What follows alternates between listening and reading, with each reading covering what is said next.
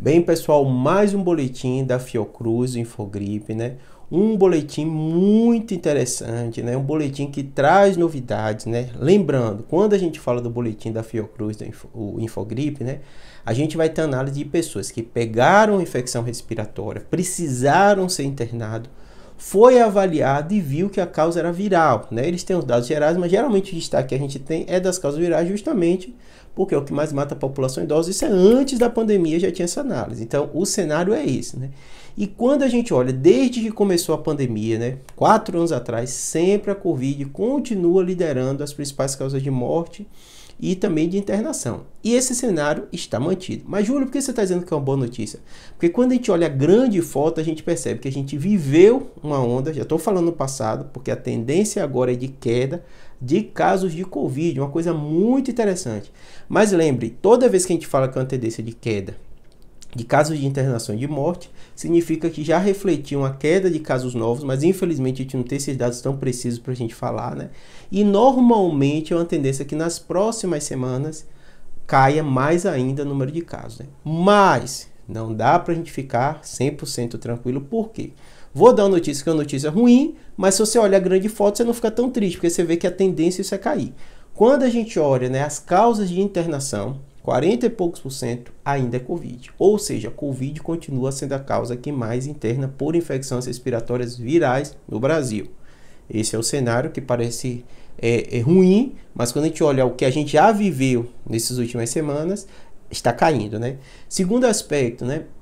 Morte também, quase 80%, 79% das pessoas que morrem por infecções respiratórias, eh, respiratórias virais no Brasil são por Covid, né? Grande maioria, né?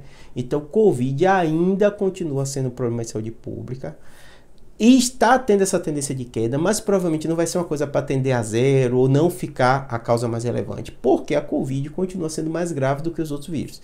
Então eu acredito que nas próximas semanas a gente vai ver queda de internação, a gente vai ver queda de casos novos, mas a gente vai continuar vendo a Covid liderando as mortes por infecções virais.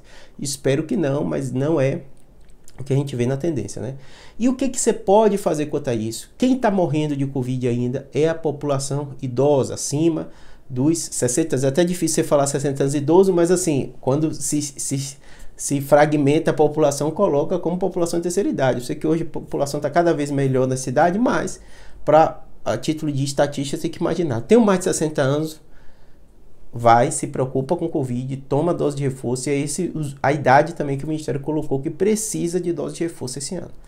Júlio, eu não estou na cidade, mas não sei quantos vacinas tomei, o que, é que eu vou fazer? Primeiro lugar, tem um, um cenário muito interessante agora que já começou a vacinação contra a gripe no Brasil. Cenário muito bom, o Ministério adiantou. A gripe, diferente do que eu falei, tudo agora de Covid, gripe, as infecções né, causadas por influenza, né, vírus respiratório, ainda continua em alta no Brasil. Então dá para a gente ficar 100% tranquilo. Né? Mas começa a vacinação. Então começa a vacinação de gripe. Quando você for no posto, pergunta, vê se minha vacinação de Covid está ok, precisa alguma dose de reforço, que aí você já toma essa dose de reforço, tá bom? Espero que tenha ajudado. Se tiver alguma dúvida, alguma preocupação, coloca aqui nos comentários que eu tento fazer vídeo respondendo, tá bom? Um abraço.